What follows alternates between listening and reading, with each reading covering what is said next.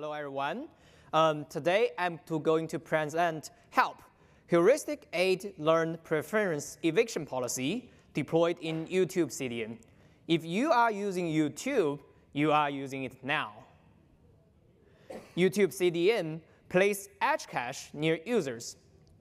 Each cache server is equipped with DRAM, SSD, and hard drives used for caching data chunks. A video is stored in these chunks. On the arrival, of a request, the server checks if the requested chunk is in its DRAM. If it is a miss, the chunk will be fetched from other cache levels, such as local SSD and hard drives, with the remote origin server being the last resort. In this project, we focus on the DRAM cache. As the first caching level, a better DRAM eviction algorithm can reduce the traffic for all subsequent levels. And our metric is the P95 DRAM miss ratio. We choose P95 because it corresponds to the miss ratio during the peak hours and is a time when the system is bottlenecked. Many recent proposed learning-based cache algorithms show promising results over heuristic. But we find they are not directly applicable to deploy in a large-scale production environment. There are three challenges. Machine learning computation overhead, reducing average byte miss ratio without making any location worse, and measuring new algorithm impact under production noise. Next, I'll explain one by one. Change one is about computation overhead. For learning-based cache algorithm, this involves model training and prediction. The cost is much higher compared to heuristic like LRU. Use LRB algorithm as an example, which is a state-of-art learning-based algorithm. It keeps past request history and uses it to train a regression model to predict an object time to next access. The training needs to cover all the objects in the past request history window. And when doing an eviction, LRB randomly sample 64 objects as eviction candidates, run predictions on those, and evict the object with the largest predicted time to next access. 64 prediction is expensive and would cost 19% additional CPU overhead. Challenge 2 is about algorithm robustness. YouTube CDN contains a large number of locations, and byte-miss ratio regression in even a few locations could result in degraded user experience. And this concern is exacerbated for learning-based algorithm, as their theoretical bound is not as good and are prone to overfit. Now let's talk about challenge three, Measuring the impact of a new cache algorithm in production is challenging due to production environment noise. We cannot solely rely on simulation as they are imperfect proxy for production behavior. This is also talked about by the previous paper. And it is also impractical to replicate user requests to test different algorithms at every location. Therefore, current practice use A-B test. To talk about how we do A-B test, first, let's introduce more about our edge architecture. Previously, we were only talking about a single cache server. But a YouTube CDN edge cluster consists of multiple racks of servers. Each rack contains multiple servers configured homogeneously. Therefore, we can compare different machines on a rack for A-B tests because they share the same hardware software configurations, and the request mix they receive should be similar. For each rack, we can select a machine as experiment to run the new cache algorithm and another as control to run the baseline cache algorithm. Then we divide experiment byte miss ratio by control byte miss ratio to calculate one measurement sample. After that, we aggregate data from different racks and locations to get the impact distribution. However, in practice, the behavior of machines are never identical.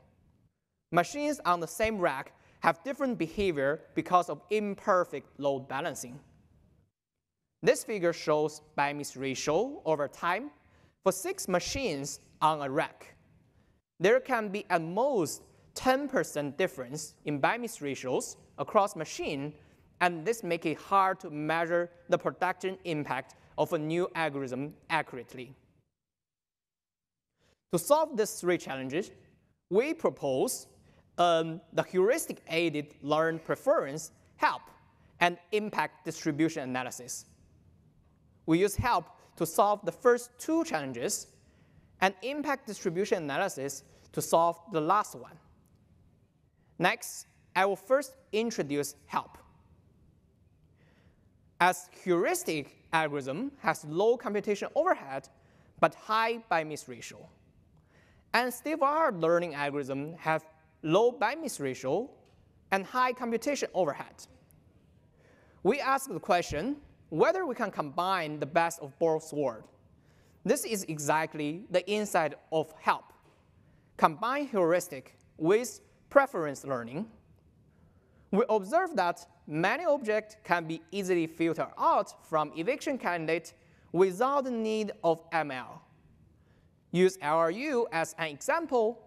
Object near the LRU head just received recent access, therefore are less likely to be good eviction candidate as opposed to object near the tail.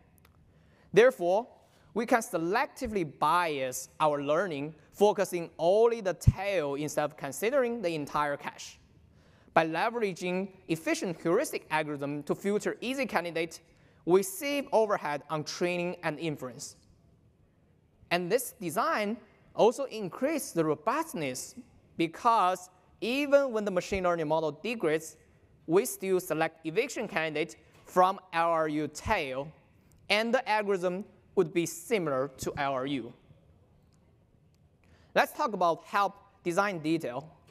The key component of HALP are heuristic policy like LRU and the neural network-based score function. The neural network's input correspond to the feature for a single eviction candidate, and its output is a real value score which tracks the likelihood of a quick re-access to the same object. So it's a probability. Let's look at how eviction is handled. A heuristic policy is used to propose a small set of eviction candidates. Use LRU as an example. This candidate will be selected from LRU tail. The number of eviction candidates is a hyperparameter. If too many candidates are selected, the machine learning overhead will be too high. But too few candidates may lead to not a single good candidate to evict. We found empirically selecting four candidates achieve a good balance. After candidates are selected, the neural network-based model ranks the eviction candidate and selects the final eviction decision. The best candidate is selected based on the three pairwise comparison done in a tournament style. The reason we directly rank objects instead of predicting their time to next access is because ranking is closer to the end objective, which is to find the right object to evict. The deselected candidates are reinserted into the heuristic policy. In the case of LRU, the three um, deselected candidates are reinserted into the head of LRU.